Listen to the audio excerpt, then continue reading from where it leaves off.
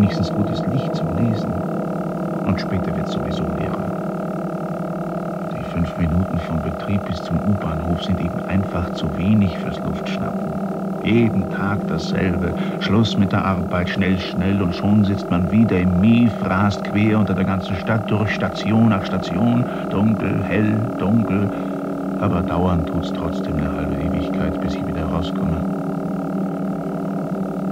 Mal sehen, was der Boutiquer mir verkauft hat. Der Zauberspiegel. Umschlag wie gehabt, Mädchen in Reizwäsche. Wohl eine Verführungsszene. Erstes Kapitel. In der ungeheuren Weite des chinesischen Raumes gab es ein Gebiet, dessen Beherrscher sich mit dem Kaisertitel schmückte. Das fängt ja nicht sehr verlockend an. Ob er tatsächlich vom großen Genghis Khan als Kaiser anerkannt worden war, ist ungewiss.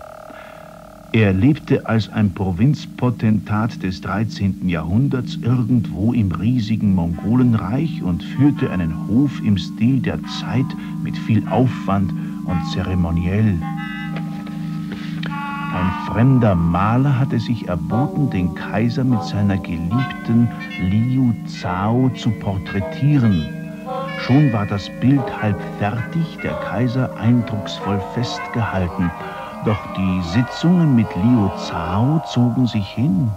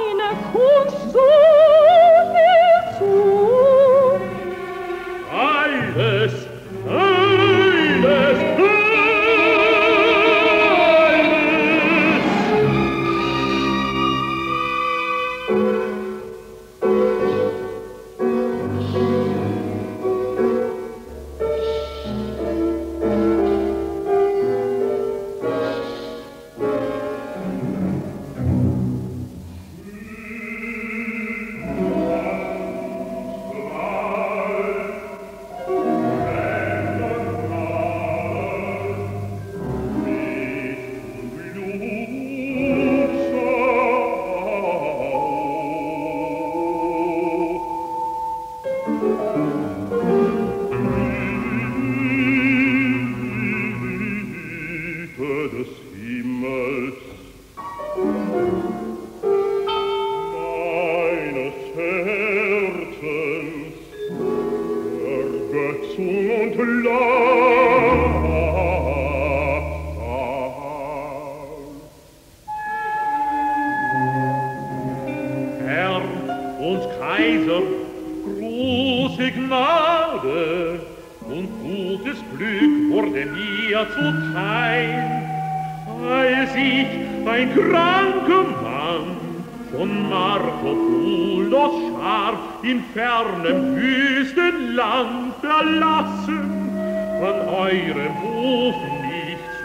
Süßes kommt, ach nur, brauche Leuchtung fand für meine Gunst und freudigen Zuspruch.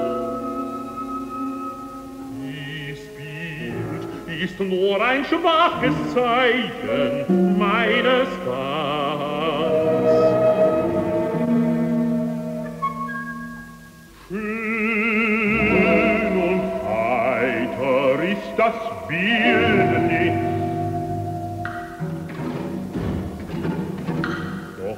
Bedeuten die Symbole hier, die gekrümmten und geraden Linien hier, neben dem bedrohlichen Tiger? Ich denk an Bogen, Seele, Pfeil und Strahl, kann ich nicht enträtseln. Es mag all das bedeuten und noch mehr,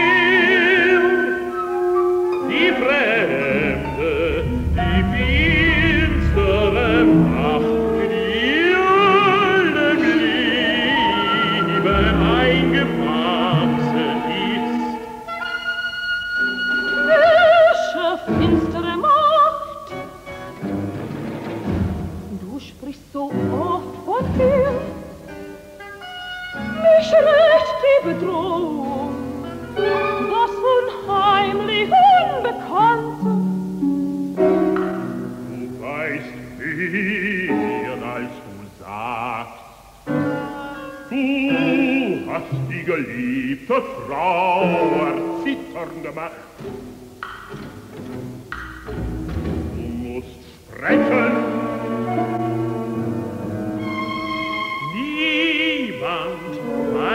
die Zukunft. In deinen Ländern gibt es geheime Wissenschaft und du hast kein daran. Wenn du Gefahren andeutest, sprich auf, was uns bedroht. Oder du bist selbst bedroht.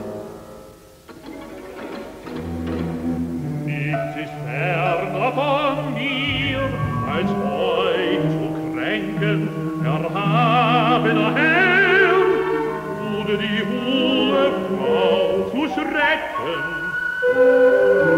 Ich habe längst gelernt, wie das zu lieben, meiner ständige Genossin. Ich fürchte nichts, auch nicht, was ich your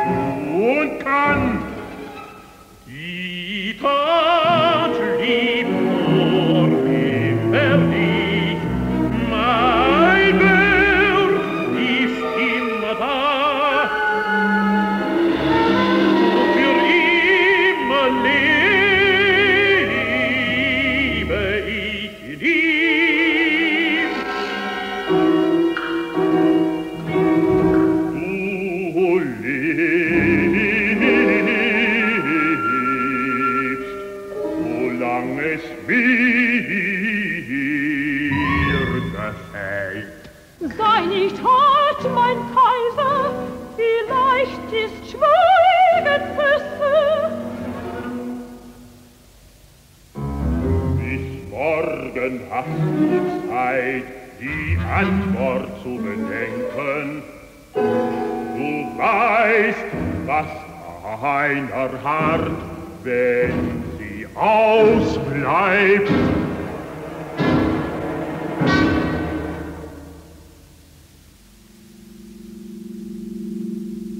Zweites Kapitel. Am nächsten Tag jedoch war der Maler Francesco verschwunden. Lediglich sein Konterfei hatte er im Bild hinterlassen.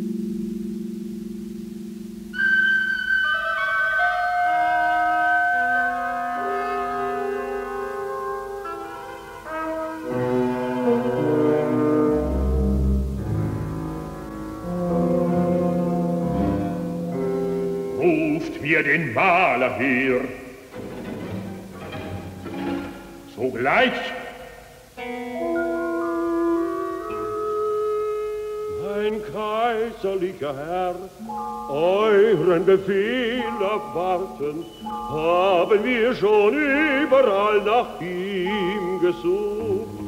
Er ist nicht hier und keine Spur verrät, wohin und wie er verschwand.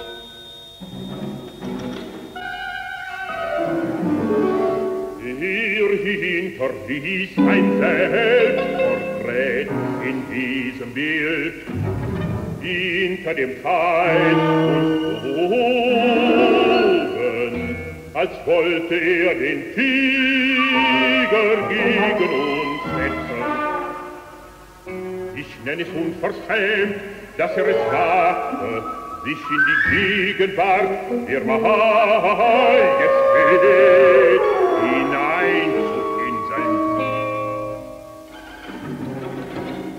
Man verbrenne das unfertige Machwerk.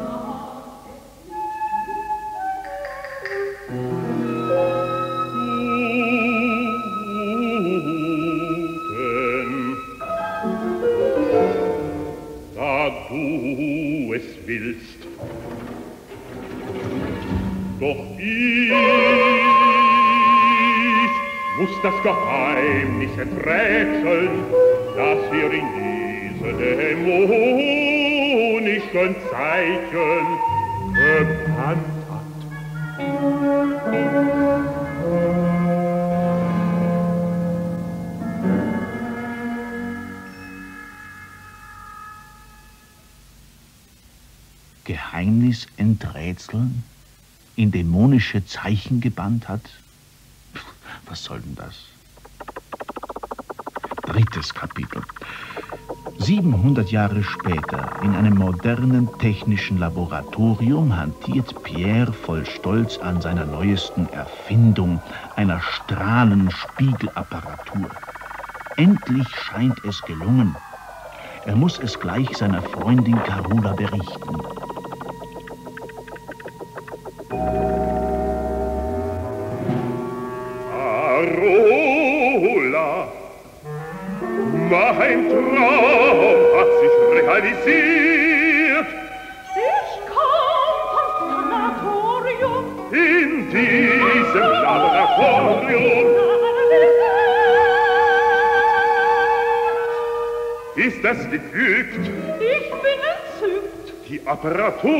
Vollendet.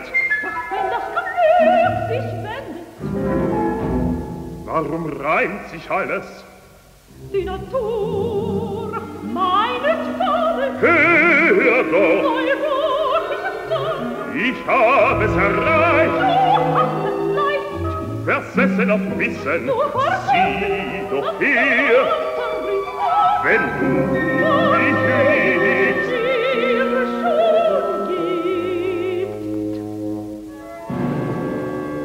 Qualität unendlich komprimiert wird Qualität Energie entbindet Lebenskraft im Material. Ich bin froh, dass ich Doch hab ich Angst. Zeichen der Zeit Angst überall. Schreckgespenst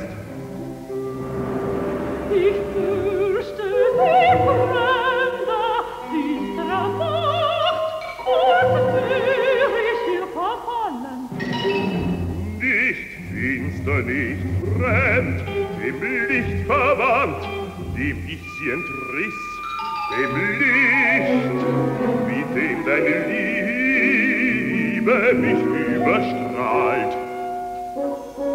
Wo hast du das gesehen? Die Wissenschaft hat andere Ziele. Mein Analytiker sagt, Mit dem verschone mich, mathematische Analyse gilt. Sieh diese Gleichung, sie beweist mit Sicherheit, Unsicherheit im Endresultat. mein Fall ist unfehlbar.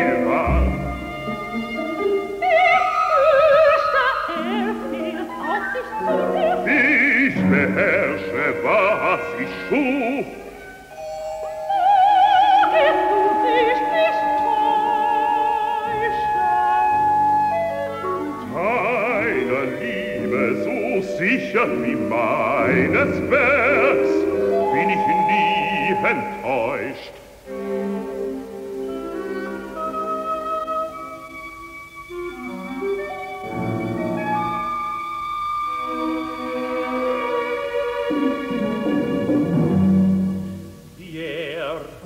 Ich gratuliere, mein alter Freund.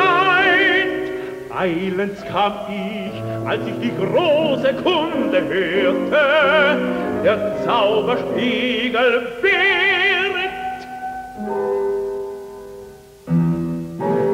Du hast erreicht,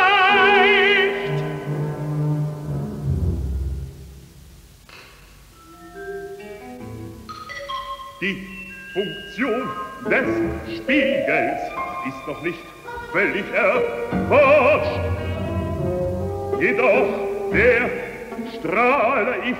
Perfekt. Du siehst die Quelle hier. Sie imitiert Partikel, die ich endlich zu erzeugen vermochte. Annähernd Licht, Geschwindigkeit,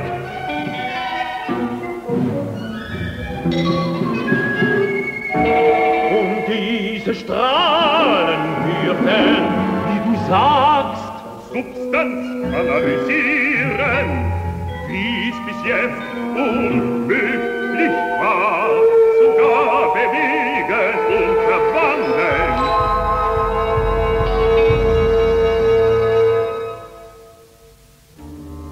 du weißt, dass ich in meinem Museum ein geheimnisvolles Gemälde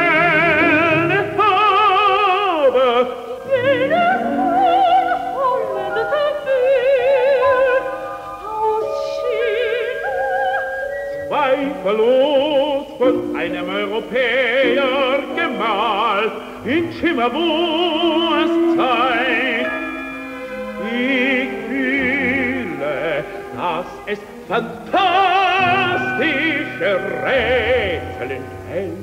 Der Schlüssel des Rätsels ist sicher die Figur des Mannes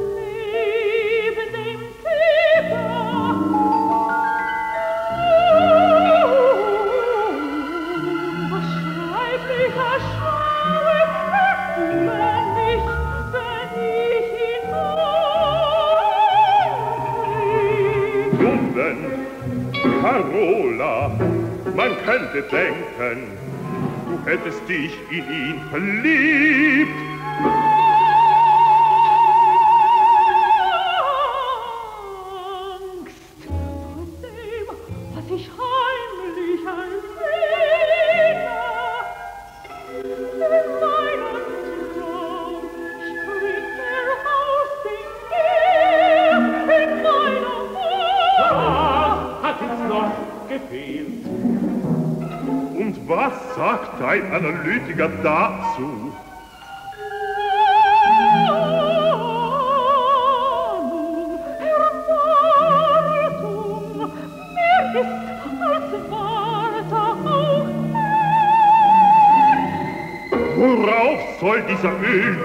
Schon warten?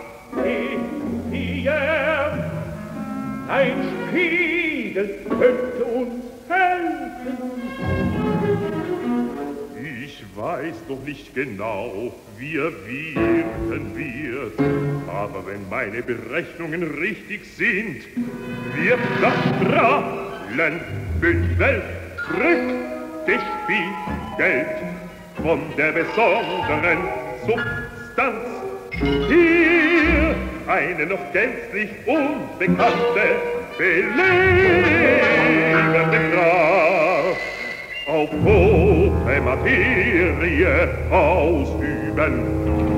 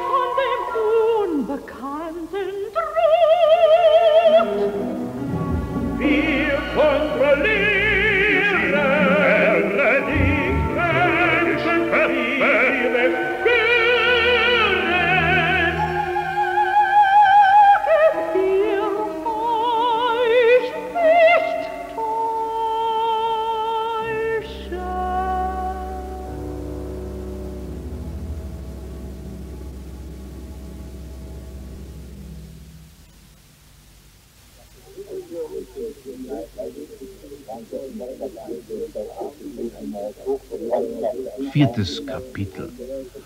Keiner von den drei Freunden im Laboratorium ahnt, dass sie durch eine fremde Macht überwacht werden. Ihre Worte hat man heimlich auf Tonband aufgenommen. Kommissar Barban und Spionin Vera hören die Aufnahme ab.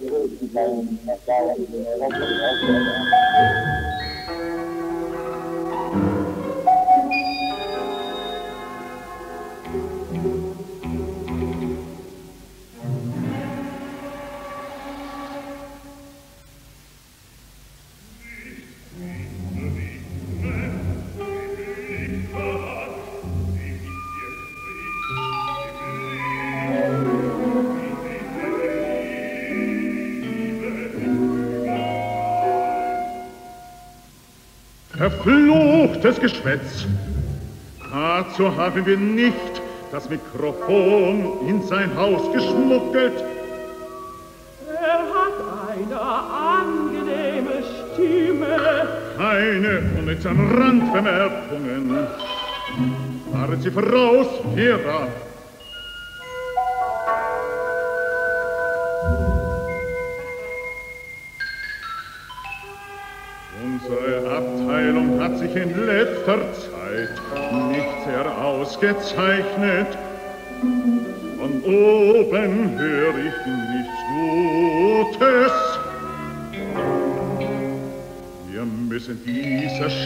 Chance wahrnehmen.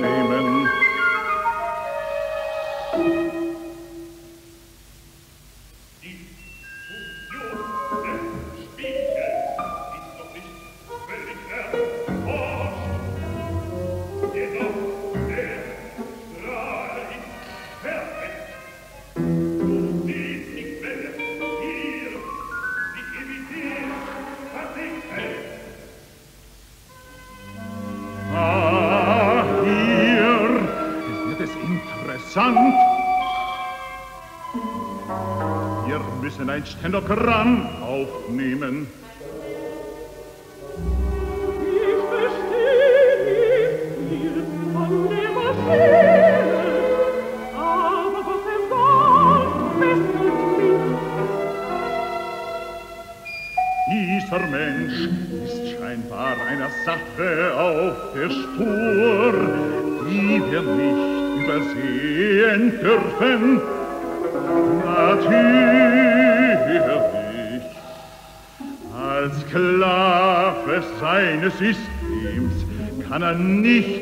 wissen, dass bei uns nicht schon längst gedacht worden wäre. Überhin müssen wir sehen, welche Geheimnisse jene uns gestohlen haben. Liebes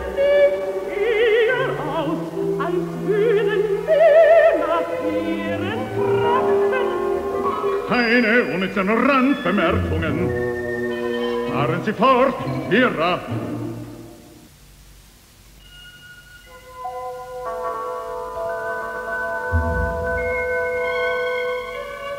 Sie sind dekadent und zum Untergang verdammt. Aber sie sind schlau und unverdrossen in Erfindungen und zu verderben.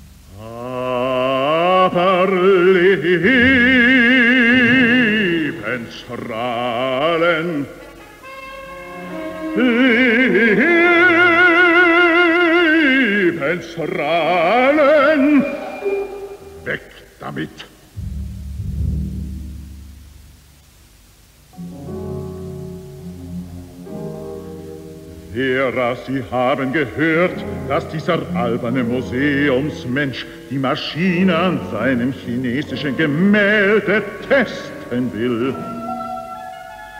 Auch, dass der Spiegel noch etwas auf sich warten lässt. Die Besessenheit dieses Idioten mit seiner chinesischen Schwarte ist unsere Chance.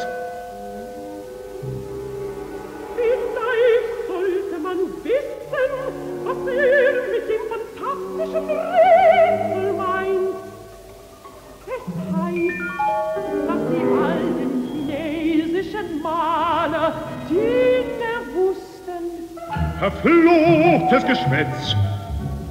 Halten Sie sich an die Tatsachen, Kamerad. Nur die Tatsachen zählen.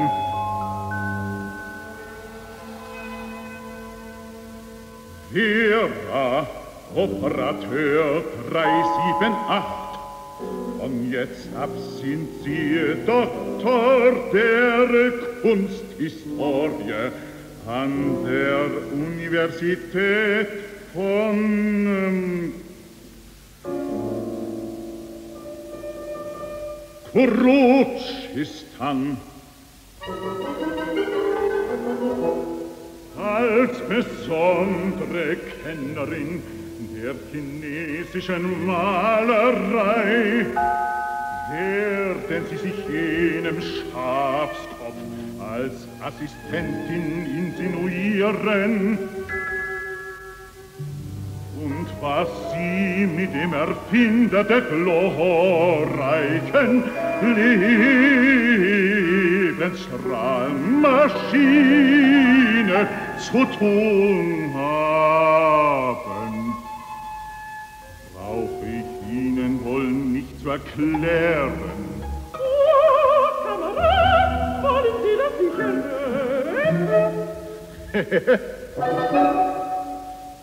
Ihre Talente auf diesem Gebiet sind in den höchsten Kreisen wohl bekannt.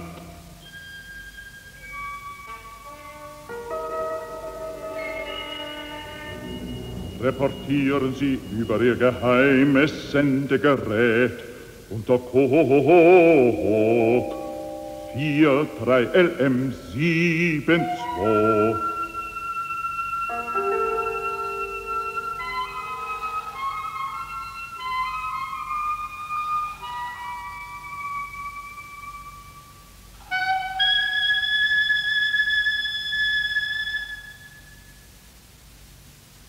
die Sache jetzt endlich spannend wird? Hm. Fünftes Kapitel. Pierres Strahlenapparatur ist ins Museum gebracht worden, um ihre Kraft an dem rätselhaften chinesischen Bild zu erproben. Vorsicht, Vorsicht, mein Freund, Vorsicht!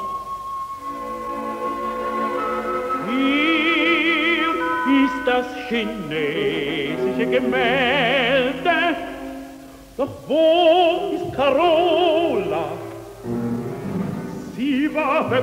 Draußen, will nicht sehen, wie wir ihren Pinselschwarm zerstören. Nun denn,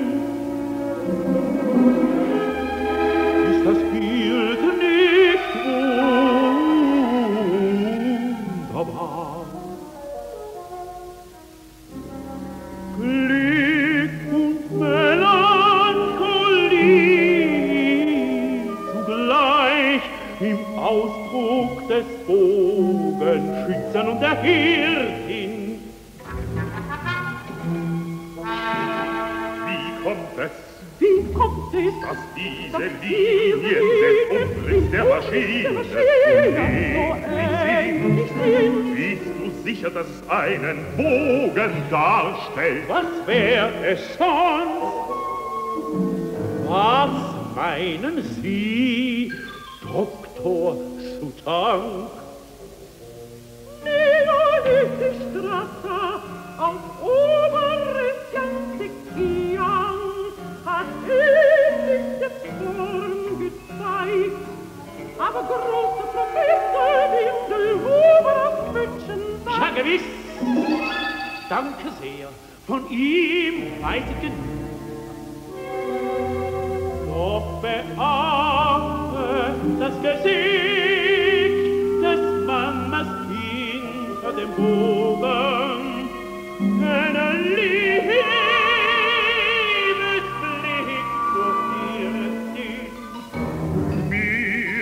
gefällt er gar nicht so gut.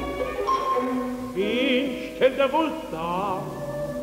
Was vermuten Sie, Doktor?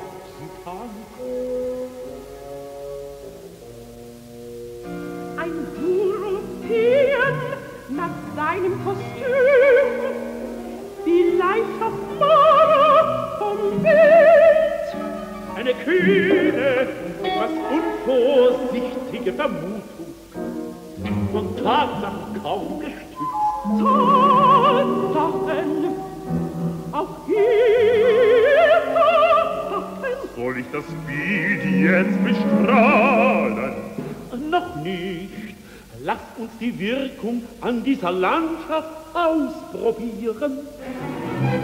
Zunächst der Strahler.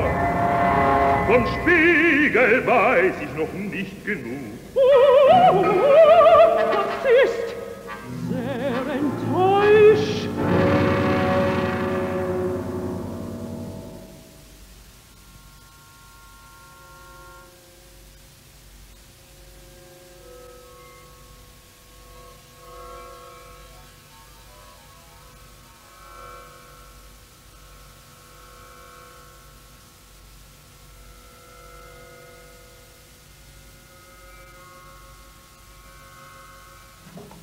Großartig. Erstaunlich. Die Wirkung entspricht den Erwartungen. Die Erwartungen beruhen auf Berechnung. Wie machst du es, dass die Maschine zukünftigen Stil vorwegnimmt? langweilige Landschaften in prächtige Abstraktion vertauscht. Elektronisch Bewusstsein. Zeitraffung. Was sagt man? Aber was wird mit dem Bild? Keine Angst. So wie ich den Strahl unterbreche, ist alles wie vorher. Herrlich und gut. Aber was macht die Maschine mit einer wirklichen Abstraktion?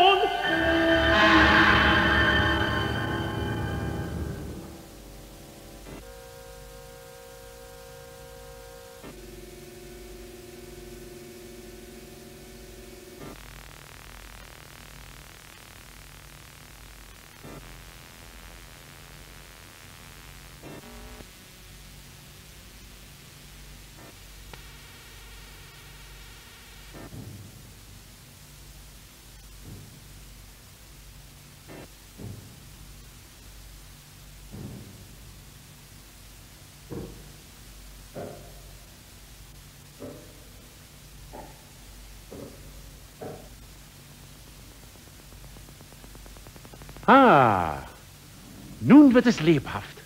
Sind die Wirkungen immer noch vorberechnet? Ich nehme es an. Doch sind Kräfte am Werk. Ich wusste schon immer, dass diese Kunst die Katastrophe vorausahnt.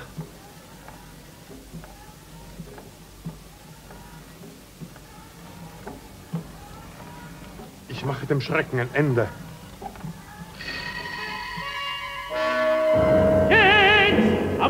Chinesische Bild. Ich weiß nicht recht, ob ich noch Lust habe. Ha, ha, ha, geht's? Gibt es kein Zurück mehr? Hurra!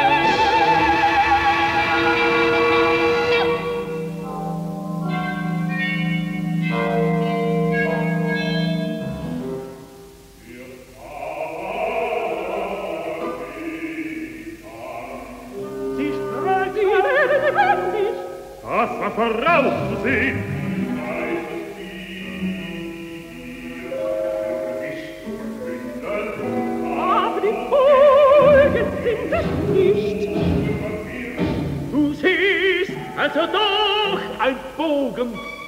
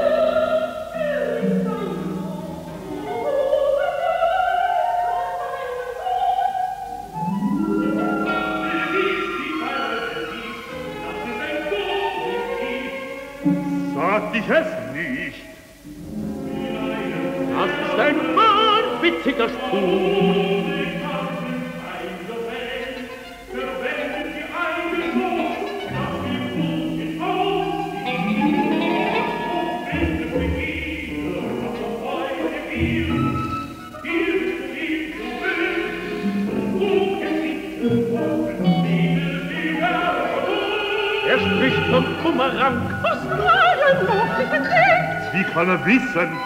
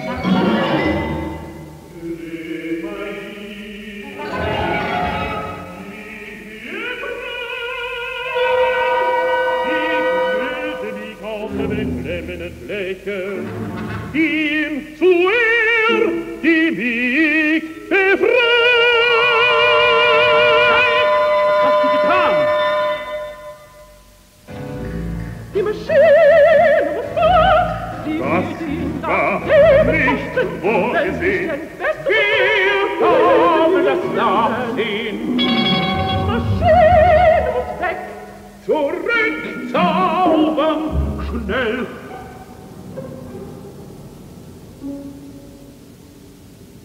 Der Mann ist fort. Was mach ich mit dem Bild? Sieh dieses Loch. Tu l'as voulu, so stand er. Heckt mit in den Keller, ein Skandal. Verlass dich darauf, ich werde schweigen.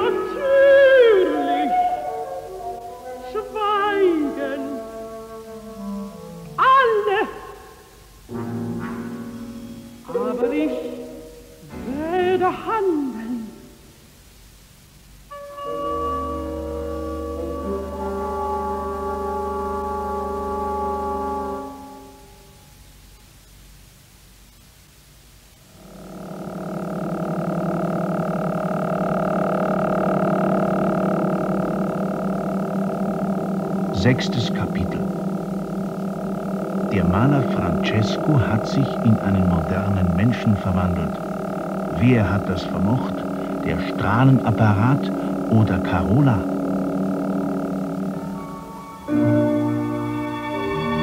Dein Blick war es, der mich aus der flächigen Gefangenschaft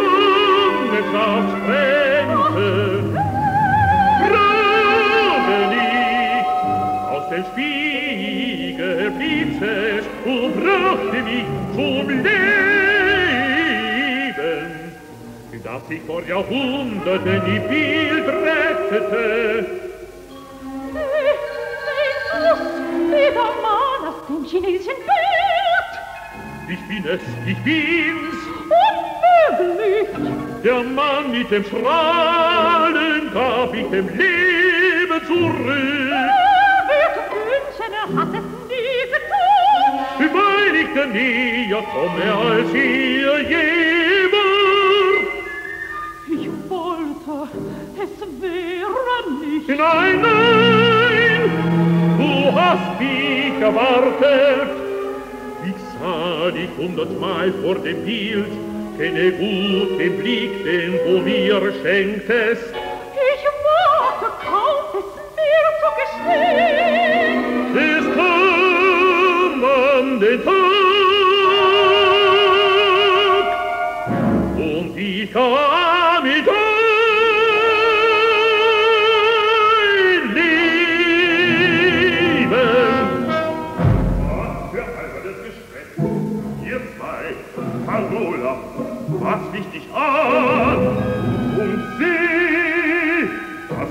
Ihnen ein, aus dem Bild zu springen?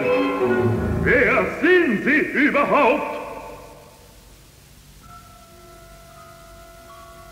Francesco di Gradone, geboren 1252, in Cetonico di Sopra, Schüler des großen Meisters Cimabue. Der Mann, Das ist doch Mann, doch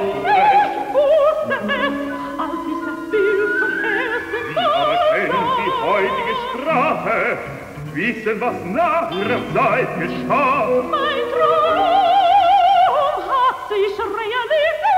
Ich habe lange genug aus die Bild geschaut und geholt. Wahnsinn! Ein Farbengex kann weder hören noch sehen. Sie müssen sofort zurück ins Bild. Nein, nein, Maschine muss fort. Ich hab dir wohl genug gedient, Francesco, dir gefällt es hier, war allzu gut. Die Maschine!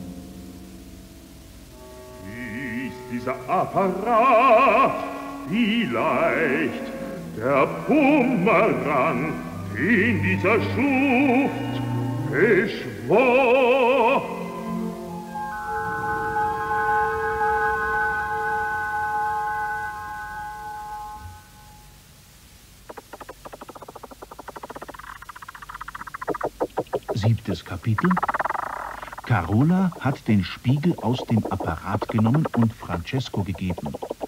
Pierre sucht im Laboratorium verzweifelt nach einer Lösung, wie er den Schaden beheben könnte. Da kommt Vera, nun nicht mehr Kunstgeschichtlerin, sondern ganz die Frau, deren Talente in höchsten Kreisen wohl bekannt sind.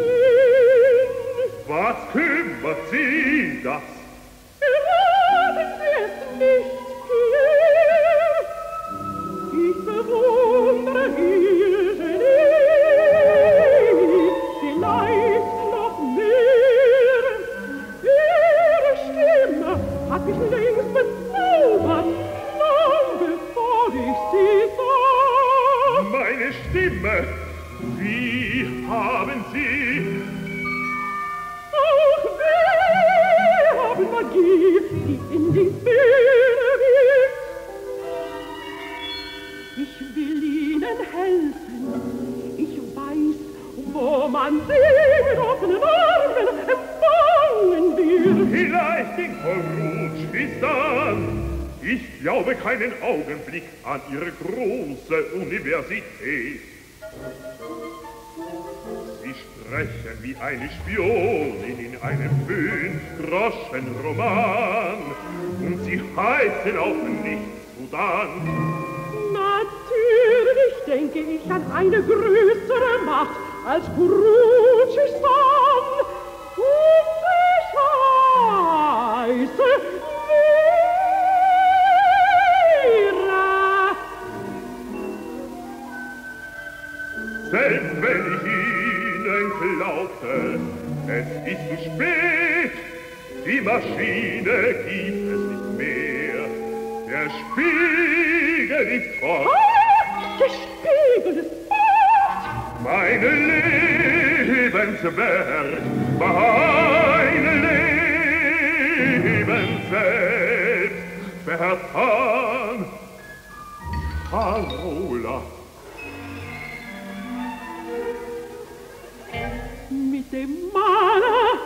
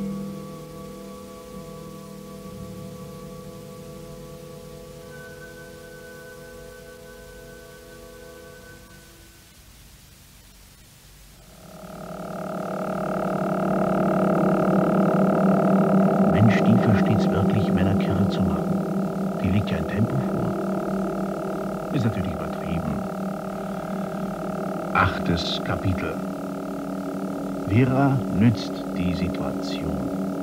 Unbemerkt von Pierre hat sie den Strahler aus dem Apparat entwendet und noch im Laboratoriumsgebäude erstattet sie über einen Taschensender Bericht.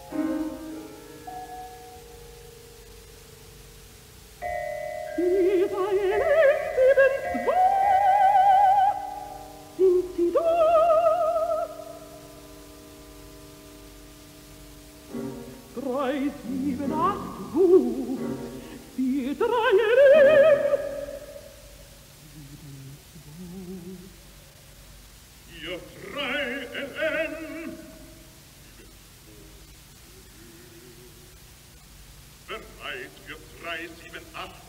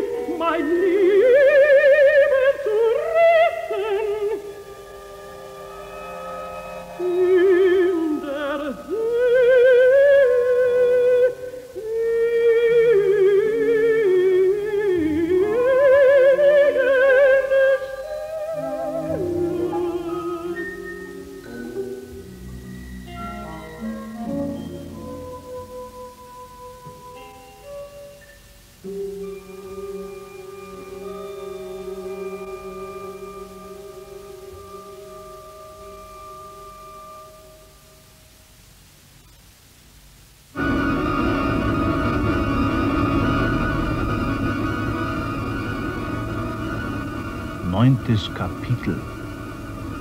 Carola und Francesco sind entschwunden, auf der Flucht aus der Wirklichkeit, in die sie nicht passen.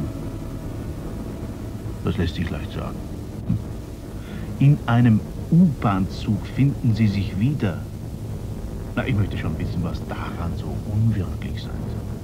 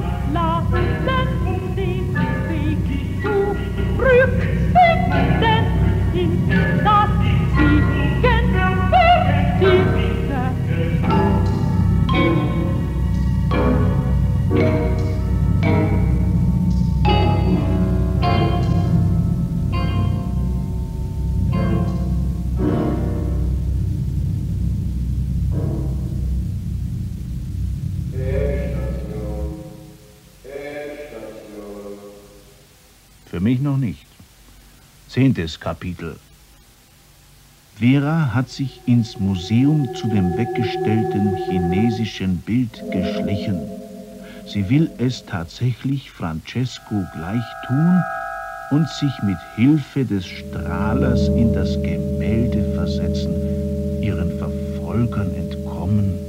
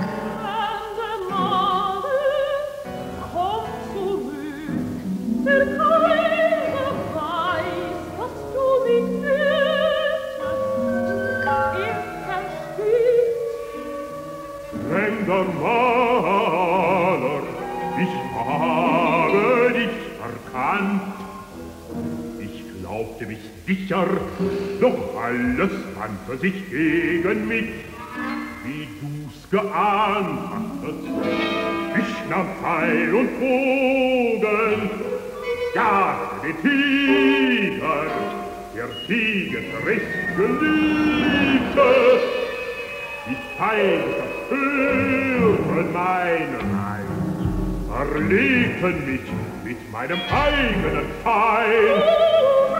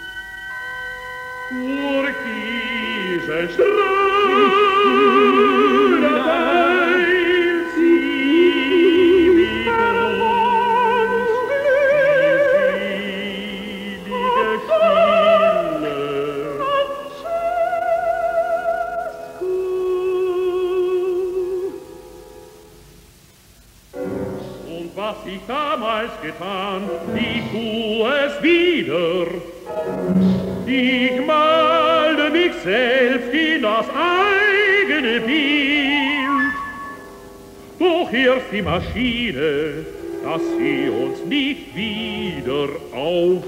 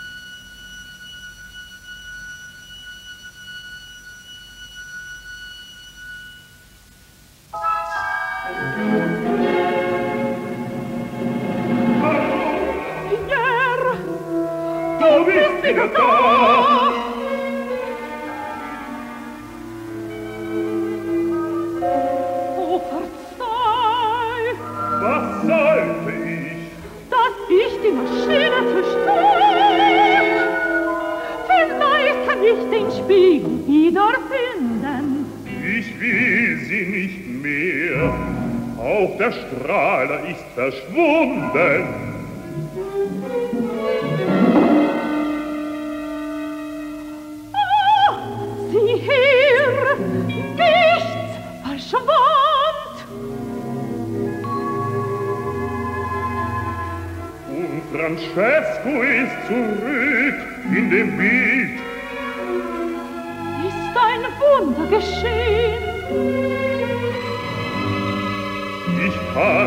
erklären, doch ich ahne, was geschah.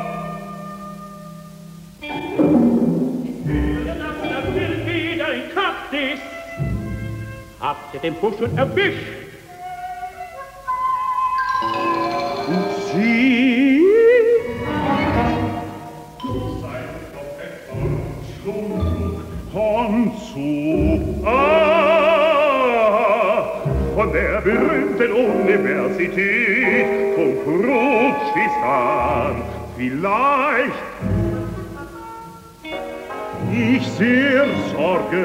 für geniale Student, Dr. Sutan, so lange nichts gehören. Da, das ist das, das ist doch Dr. Sutan. Ihr Porträt, aber wo ist sie?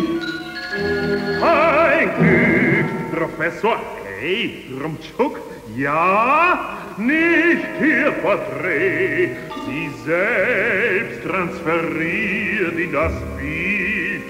Unmöglich, aber wahr. Ihre Sklavin Vera ist dem Spionenmeister für immer entrückt. Ich sein ruiniert. Maschine. Vera entwischt. Ich glaub, ich frage politisch Asyl. Ist besser wie Schisse ins Hirn. Gehen Sie zum Teufel und bleiben Sie dort. Und wir kriegen euch doch auch ohne Maschine. Jetzt müssten wir deinen Spiegel haben, untersuchen, was in dem Bild geschah.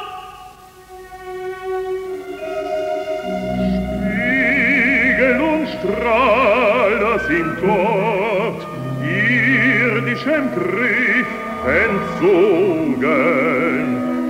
Und nichts mehr wird untersucht.